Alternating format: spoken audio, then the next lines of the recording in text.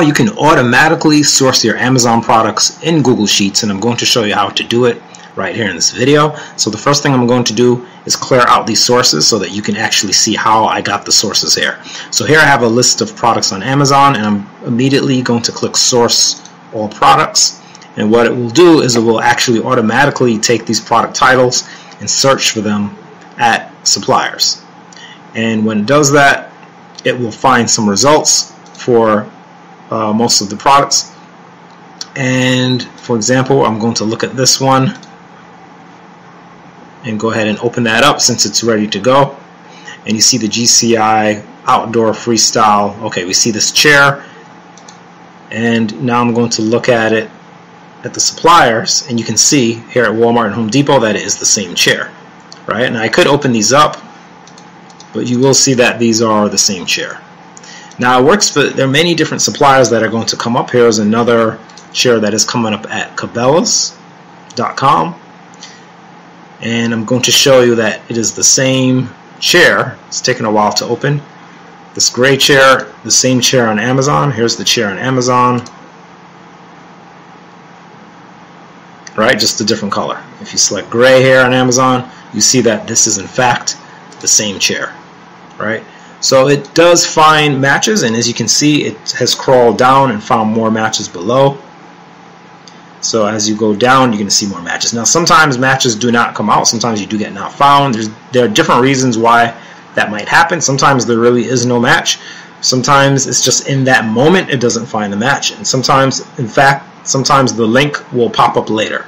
So it just really depends. But as you can see, most of the products are being matched, right? Most of the products. And um, here goes another one. And really just going through and pretty much showing you some of the matches. And let's see if this is the same as well. And as you can see, this is the same, basically. Actually, that looks a little different. So um, sometimes they might be a little different. It's not perfect, but it's usually usually you do get the correct match. Now something I want you to keep in mind, however, I'm going to keep clicking on some of these, but something I want you to keep in mind is that when you use um, the much more expensive sourcing software, they sometimes do not match the correct products. Um, even though it costs $100 a month, $80 a month. So if you see this, usually you're getting the right match, right? Most of the time, look at this. You have the right match, correct match here again, okay? The same product. And the thing is, you're not paying any monthly fee for this. So that's something to really keep in mind. There's no monthly fee and you're getting accurate matches here. Right? And I can keep going down. We can look at some more examples. There's another chair. So I pretty much searched this brand on Keepa and I'm going to show you how to bring in the Keepa data into the Google Sheet as well but this definitely came from Keepa and you're going to see right here. All right at uh, Dick's Sporting Goods you see it's the same product and if you look at red you see that it's the same chair right? Now I mean I could keep going through and clicking on products but basically um, you're gonna see that most of these match. Now uh, there's the question of how you actually get, and it's still, by the way, it's still going through and it's still sourcing more products there Now there's the question of, well, how do you actually get this data in here? Um, for this particular version of the system, you can get the data from Keepa, but you don't have to. So by the way, this is not just for Amazon. All right, I just updated it to import the Keepa data, but you can use this with eBay titles also, or uh, it could be titles from any marketplace. It could be Etsy. It could be any marketplace. Um, but as far as doing Amazon, uh, if you have Keepa, you can put the Keepa CSV in here. All right, which I can show in a little more detail. And then when you put the Keepa CSV in here, you just click uh, a button, import Keepa data, and it will bring in the ASINs, the link, and the title for you automatically. But again, you don't have to do that if you're if you have some other way to get your titles or your links or your IDs, you can use some other way to do it as well. Alright, so that's basically what's going on here. Now, once you get the sources, alright, once you get some sources, um, now usually you should just let it finish running. And if you watch it, you'll see that it's going to continue running down here. and really you should let it continue running but uh, sometimes what you can do is you can rerun a certain cell. So you might want to rerun this for example and see if you get a different result. Or you might want to rerun this. You might even want to delete it and then rerun it and see if you get a, a result this time. Right? So sometimes this does happen. Now the idea of this system because you might be thinking well if it doesn't get all of them but remember there's some products that may not be uh, found even when you try to source it yourself for some reason it's not at the supplier. Sometimes that happens. So it could be that, but um, the idea here is that the ones that do work and the ones that do match, they have saved you a lot of time trying to match those particular ones. So if you look here, I have this, uh, I'm not sure how many, um, but it's a little bit over, well, it's a bit over 200 products in this list. So if this finds for me even 100 products, or even if it finds um, 80 or 90, right, out of 200, that still saves me a lot of time, even if they don't, even if they're not all found, right? So this is the idea uh, behind using the system, and uh, I mean that's basically how the system works. Now, when you usually I would let this finish, but I'm actually going to uh, stop it and cancel it because I want to show you the other stuff. But when you do it, let it keep. You should let it keep running. What you're going to do is click stamp sources, and the reason why you click stamp sources is you want to remove the formula and just leave this, the actual link behind. Otherwise, it's going to keep reprocessing, right? So when you're all done, next time when you're doing it, you should wait. And when it's completely finished, you're going to hit on uh, stamp sources and so that you can get just the text for the links.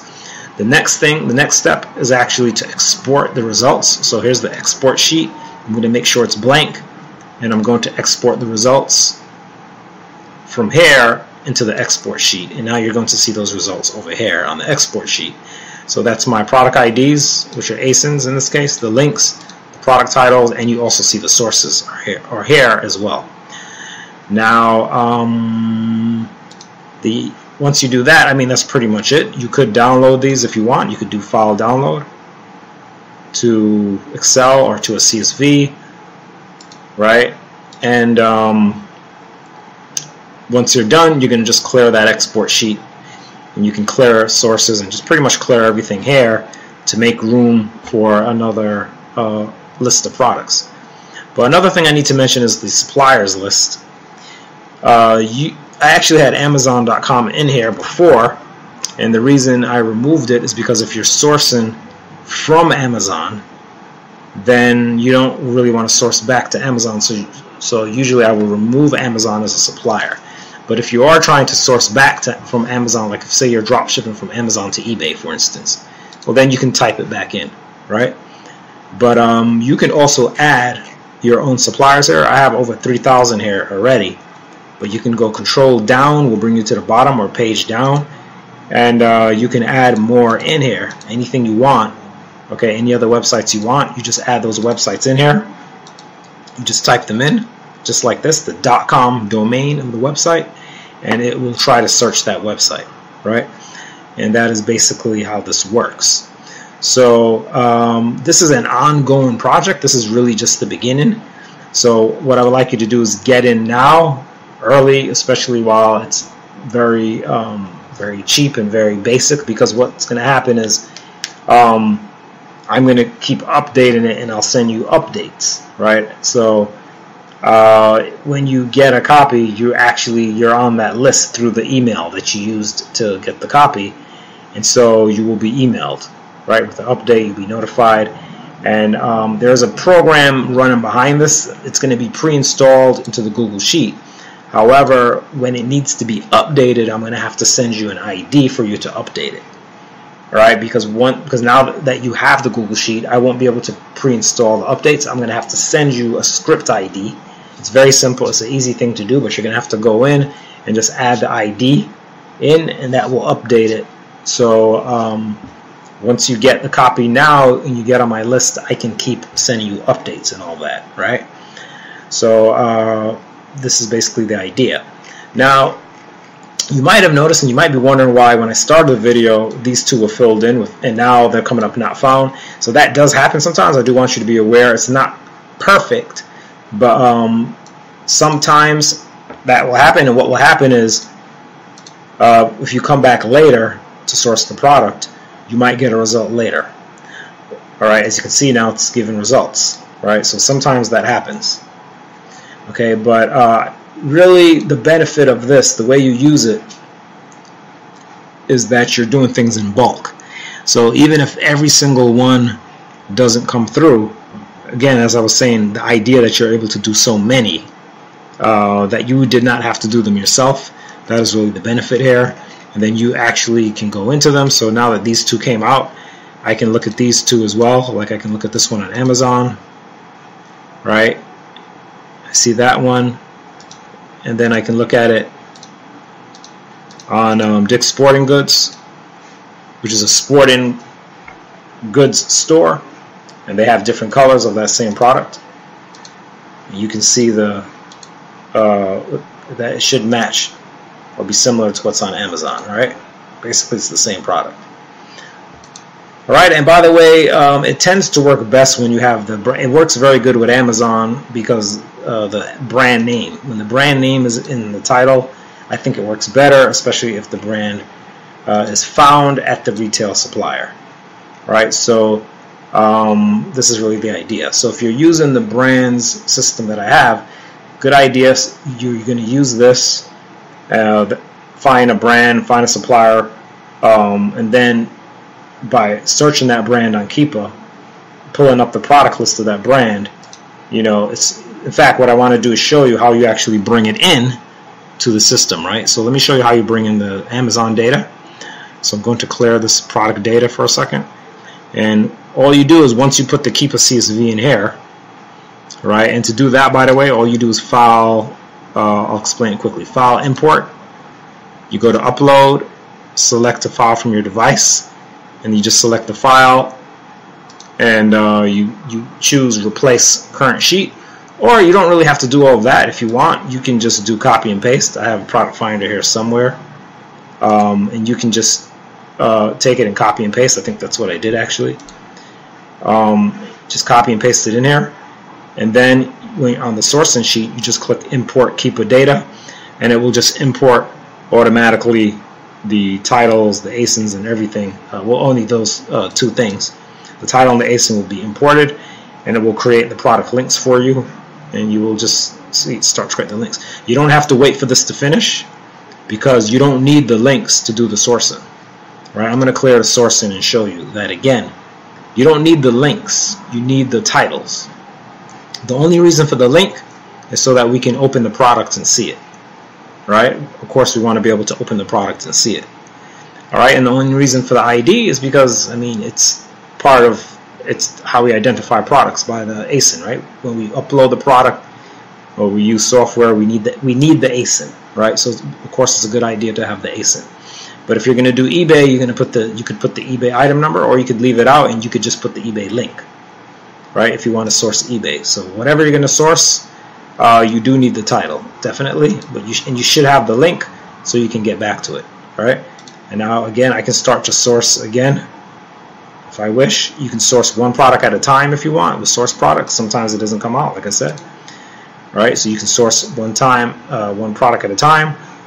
Sometimes it doesn't come out, or you can do source all products, and you'll have it actually uh, begin to go through and source the products right, one by one. And sometimes these say not found, and you might, as it's completed, uh, the best thing to do is when you do this, to go do something else, right? So you can hit source all, but it takes time. So you can actually go ahead and go do something else that you're working on. And then when you come back, it should be finished, right? A few minutes later, or if you want, you can start looking at it now. But sometimes you're going to find when you come back that the not found turns into a link sometimes there's a delay. So that's another thing, right? So just want you to be aware of all these different little things with it. And uh, but as I said, I am also always going to be making improvements and updates. Okay, and uh, there's no monthly fee for this. It's not an add-on. Okay, it's a Google Sheet uh, with a program that I wrote that runs behind it. There's the code that you can actually see if you go to Tools Script Editor. You can see the code, but that's not the whole program. There's also a program on the Google Cloud, and that is the program that actually figures out the supplier links. All right, and that program is already attached. I already pre pre attached it to the Google Sheet. It does not store any data or anything like that. All it does is find the sources and send the sources to you. That's it. It doesn't store anything, right? It just runs. Okay, that's all it does. So uh, that is basically um, how this works overall. I mean, there are more little details I could explain on this, like match accuracy, but I don't want to get too much into it in this video, but basically match accuracy is like uh, how much of a match it needs to be for it to get put as a source.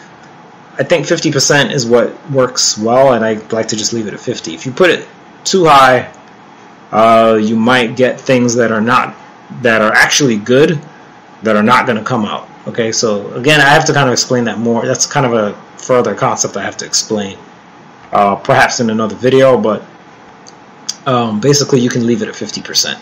But if you want to play with it, go ahead, you know. And uh, you have the number of sources. 10 is the max. But if you don't want it to ever have too many sources, maybe you only want one or two or three sources, yes, you can change this uh, to other numbers and it will never go past that number, right? It's a max number, okay, max, meaning the most it will ever show you per product, all right? So that's something else that's in here as well. So, um, so anyway, that's it. It's basically the program. If you would like to try it out and check it out, definitely find the link in the description of this video. And if you have any comments or questions or suggestions, leave them below. However, uh, I do say leave comments, questions, or suggestions below in YouTube. I don't mean really your personal, uh, like, if you there's just certain things that you guys ask me that it's actually better if you email me because um, it's not like I can send you a file on YouTube. So if I need to send you something or uh, anything like that, I can't do it on YouTube. So then you're still going to have to email me. So there's no really point for things like that, like a personal problem with the system that you have, that you're something you don't, that you need to do. Uh, better you email me. So, but if you have like more of a general question a general idea about the system, a general comment, right? You can just leave that right here in YouTube. Okay, so there's a difference. I want you to understand the difference between a general comment question, general suggestion, and a very specific thing that you need uh, for your specific situation. That for that, you should send an email. Right? It's better to send an email. Okay, so I just want to make that clear. So uh, anyway, that's basically it. Find the link. Tell me what you think. It's Mr. Mark, Excel for Amazon Dropshipping, and I will see you in another video.